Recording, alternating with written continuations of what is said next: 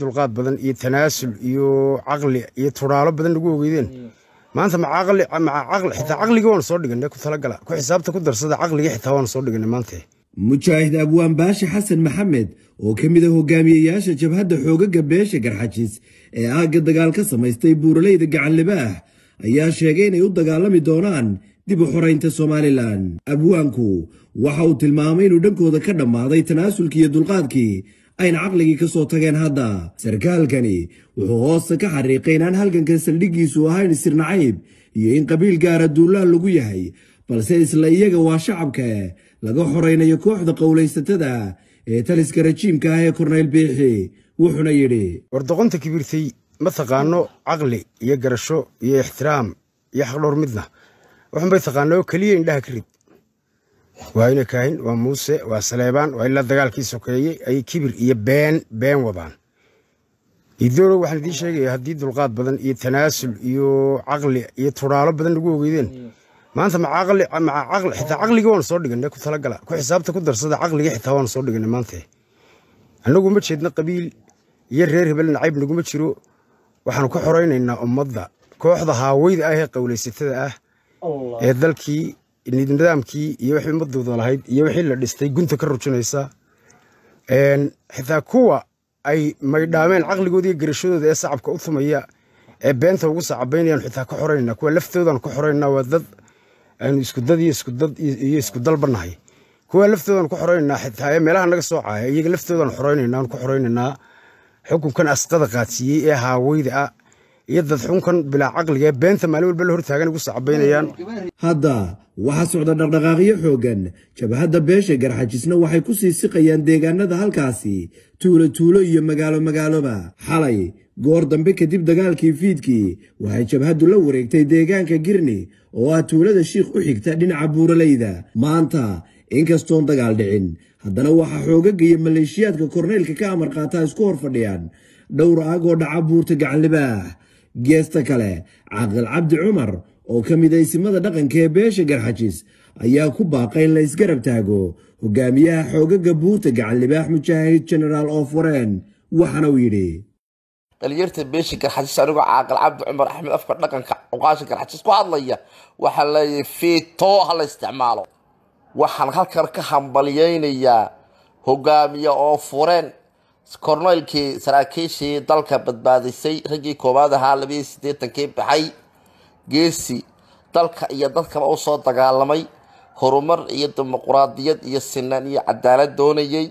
Maanta markuu arkay in makinisado iyo qoomaluud iyo waxashnimo iyo digtaatoriyad dalkii lagu soo celiyana haddana mar labaad u guntaday.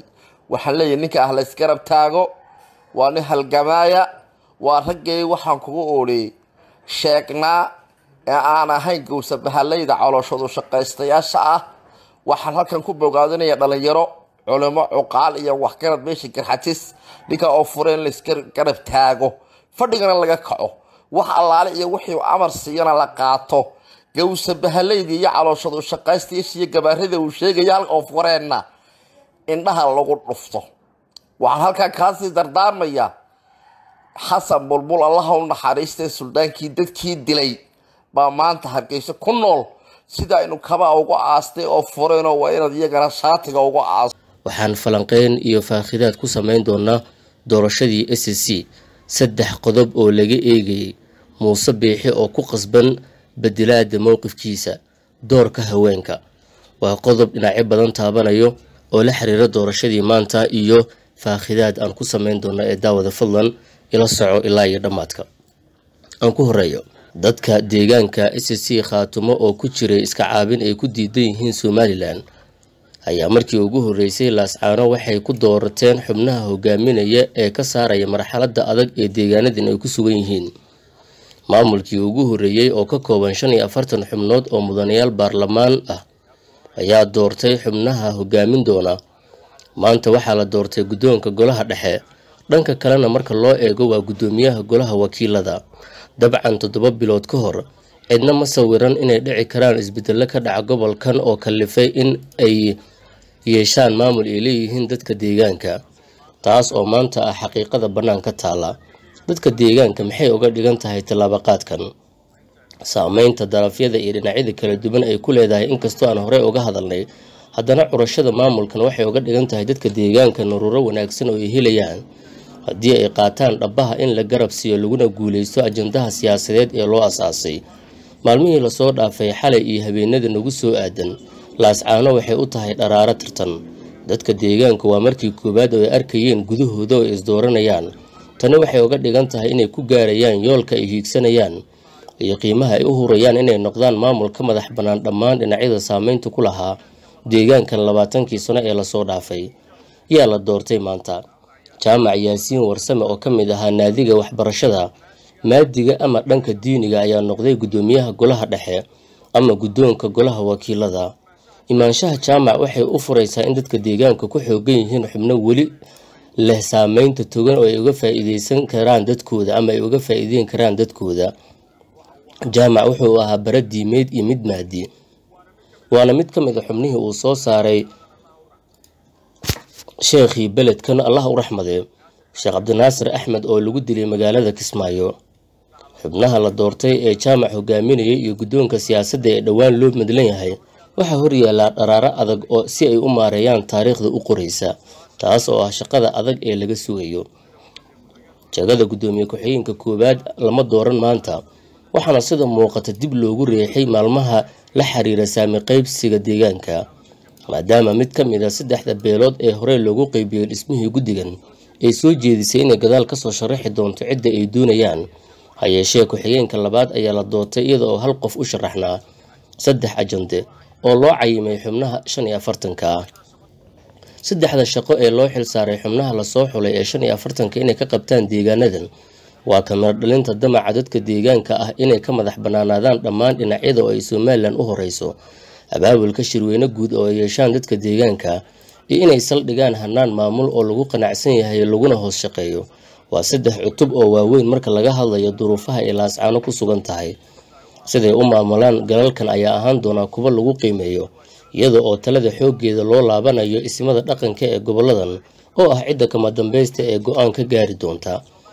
Somalilan way ku hongoodiyey xaqiijinta hadafkeedii fowlaadka ay doorteen guddiga ay xuleen ismada deegaanadan. Doorashadooda maanta waxay muujinaysaa in damacii somalilan ee deegaankan uu soo go'ay iyadoo xubnaha la doortay ay yihiin kuwa si ba'an uga soo horjeeda aragtida goonogoosadka sidaas oo kalena ka yimid kooxo ay si weyn isugu hayaan somalilan madaxweyne biixi waxay u noqonaysaa mowduuc kale oo maskaxdiisa ku adkeynaya aragtida ah in ciidankiisa la baxo wejiga dagaalkana soo afjaro maadaama ay dhammaatay xilligii ay dadka deegaanka iyo somalilan isku dhinac ka akhrinayeen sadarada ama bogooga taariikhda guddoonka golaha fulinta oo lagu loolamayo. Qodob saameyn weyn yeelan doona waa cidda loo doorto guddoomiyaha golaha fulinta ama qofka dhisi doona golaha wasiirada ee hogaamin doona deegaanka wakhtigan adag. Waxaa tartamaya ilaa iyo hadda laba xubnood oo saameyn xoogan leh. Aragtidoodana la yaqaan shan iyo afartanka xubnood kuma jiraan wax gabdha ah taas oo ismada deegaanka siday u maareeyaan dhaliile ay ka soo laabteen maadaama doorka haweenka uu yahay mid xoog leh qaybta ugu badanna ay ku leeyihiin iska caabinta ay ku jiraan dadka deegaanka. Oo haddana in laga waayo shan iyo afartanka xubnood ayaa ah dhaawac dadka deegaanka taaban doonta. Laakiin sida looga qaybgeliyo golaha fulinta ayaa iyadana aan iyadana ah waxyaabaha la eegi doono